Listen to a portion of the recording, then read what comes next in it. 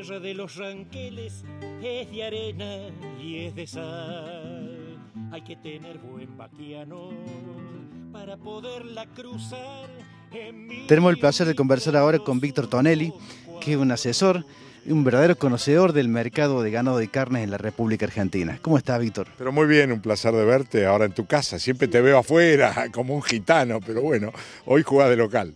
Así es, Víctor, y qué felicidad, ¿no? Un momento que creo que abre esperanzas para todo el sector ganadero. Sí, sí, yo creo que la verdad que fueron muchos años más de lo que hubiéramos querido, de sufrimiento, de tener, digamos, la pata arriba de la cabeza y, uno anda por la calle y ve hoy cómo, cómo ha cambiado el ánimo, sobre todo el sector agropecuario, este, pensando que vamos a poder volver al mundo y que vamos a tener de nuevo visiones de largo plazo, este, incluyendo hasta el nombramiento de, del, gabinete que, ha ocurrido y que uno ve, la verdad que han nombrado gente de primerísimo nivel, lo que te da una luz mayor de esperanza de la, a dónde apuntan, ¿no es cierto? Cuando uno mira todo el conjunto, la verdad que son impecables.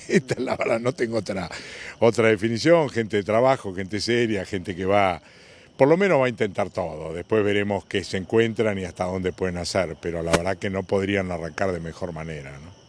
Víctor, ¿te puedo pedir una síntesis de lo que hoy le vas a decir a estos productores ganaderos que están en Río Cuarto? Con todo gusto. Bueno, básicamente yo voy a enfocar la charla este, primero hablando del mercado internacional y las perspectivas y cuáles son las la visión de los, de los especialistas que hacen este, perspectivas hacia el futuro, como para darle un panorama claro de que, bueno, te lo resumo, básicamente estamos en una situación, yo diría, de excepción dentro de los que son los valores de los commodities, mientras que todos los demás bajan, la carne vacuna no ha dejado de subir, se mantiene firme.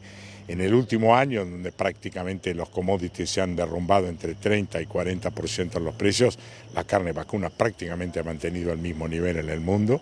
Un mundo que sigue creciendo en demanda, un mundo que tiene una limitada capacidad de abastecer esa demanda y cuestiones, por ejemplo, como una mayor utilización y mejor relación grano-carne o carne-grano hacia el futuro, que la verdad que nos ponen a la Argentina en una posición tremendamente ventajosa.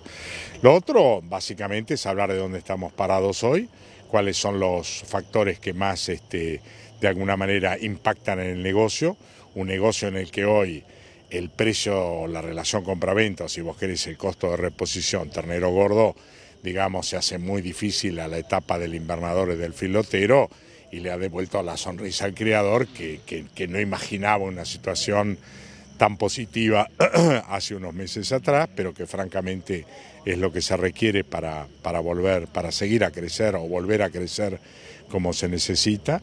Una relación grano-carne que claramente con las nuevas medidas se va a ajustar a situación un poquito más racional, lo otro era un despropósito, pensar que el maíz se regalaba, que prácticamente ni se cuidaba, no guardaba relación, pero que se va a ubicar, yo te diría, mirando cómo se proyectan los precios del maíz y cómo se proyectan los precios de la ganadería, bueno, dejaremos de tener el 25 a 1 o más depende de dónde estén los campos, y pasaremos a un más que razonable y positivo 15 a 1, que sigue siendo muy bueno, es decir, muy por encima del 10 a 1 que ha sido la media histórica.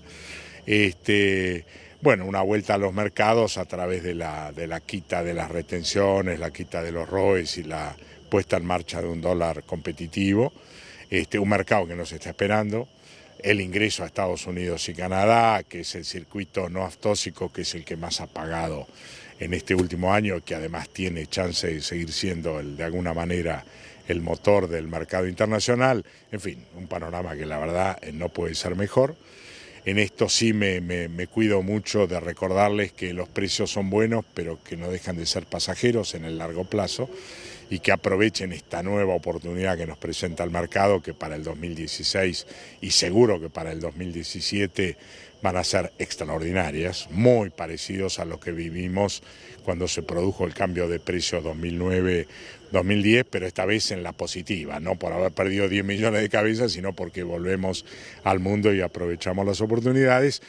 Bueno, yo digo que no la dejen pasar para hacer las inversiones que tienen que hacer, para, para acomodar las tecnologías y tratar de mejorar en eficiencia, productividad, porque siempre después de un periodo así tan, yo diría, auspicioso y bueno, viene la calma y, este, y no siempre la rentabilidad se mantiene solo por precio. Por lo tanto, que aprovechen este momento que vuelvo a insistir, es casi irrepetible el que se viene para volver a mejorar productividad y eficiencia, que es lo que le da sustentabilidad en el largo plazo. ¿no?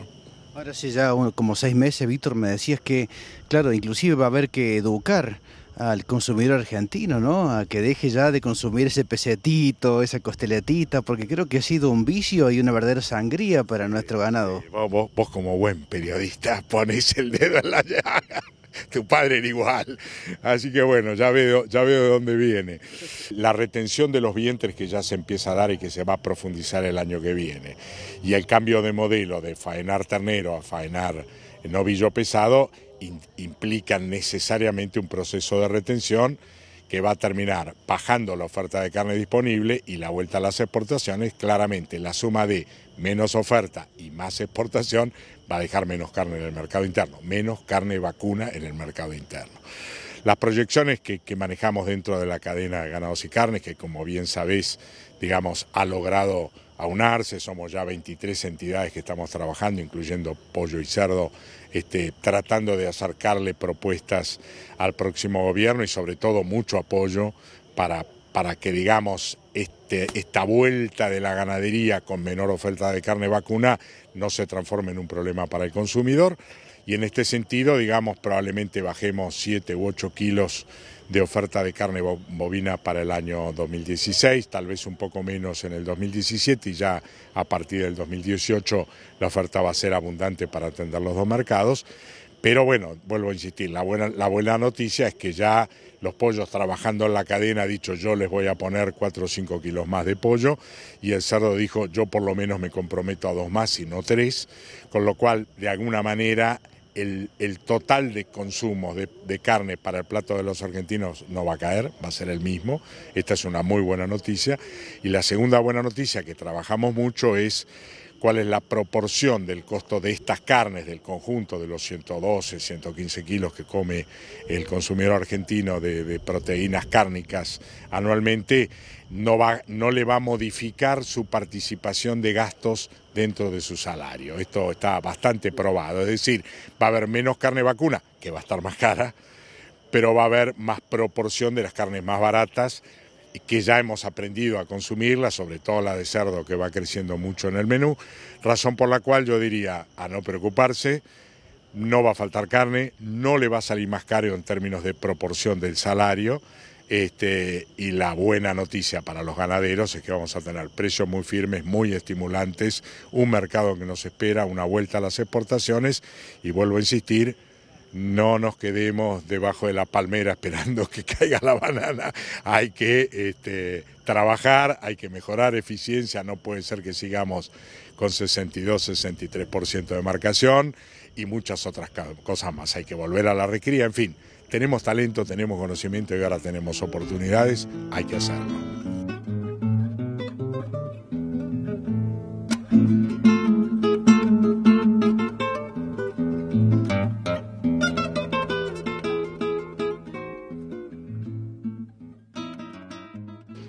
Un recordatorio nada más para el final y se trata del clásico ganadero de la provincia de San Luis, el remate séptimo aniversario en Buena Esperanza de la Casa Cocinataria Alfredo S. Mondino. Esto será el viernes 11 de diciembre en esa localidad del sur sanluiseño. Allí nos encontraremos.